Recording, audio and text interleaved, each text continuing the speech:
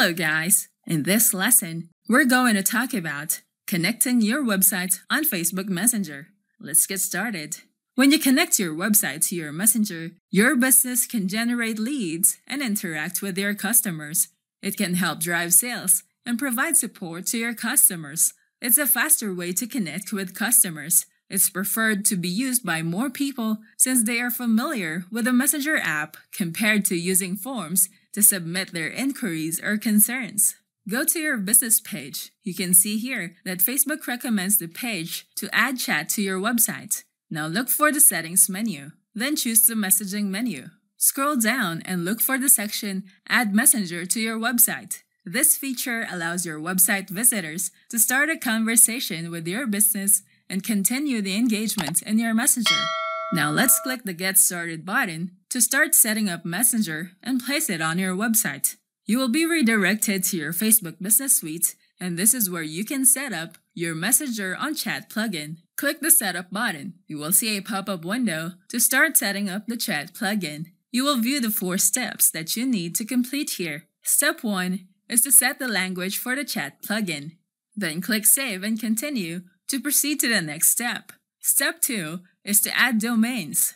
Type in your website URL here, or you can copy your website URL and paste it here. Make sure your website is valid so that you will see the green check icon here. It is possible to add multiple domains. You can connect multiple websites to your messenger. Now all the website URLs that we have added here are valid. Click Save and Continue to proceed to step 3. Step 3 is to copy this code. You need this code and paste the code snippet to your website. Now click the copy code button. Click next to proceed to the next step. Step 4 is to paste the code. Here's an instruction on where you have to paste the code snippet on your website. Click finish. Our chat plugin is now ready. Now go to your website and look for the setting to where you can paste the code snippet after opening the body tag.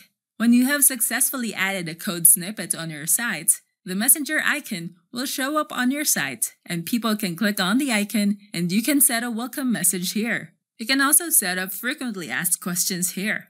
Check the option Customize your chat plugin here. You can see the preview in this section. You can edit the greeting, enable the guest chat to allow people to chat with your business without logging into Messenger while using the chat plugin on your website. You can also customize the color of your button. It's also possible to change the alignment of the Messenger plugin if you want to place it on the left or the right side. You can also enable the option Automatically Expand. This makes the chat plugin more noticeable on your website. Companies are integrating Messenger on their website. Business owners with a Facebook page will benefit from having a Messenger chat plugin on their website. People are more likely to engage in conversation with your business since they are more familiar with Messenger. Now that you know about connecting your website on Facebook Messenger, we can now proceed to the next chapter using Messenger for e-commerce. I'll see you there. Thanks for watching. Don't forget to like and subscribe and go to teknikforce.com for more tools and training.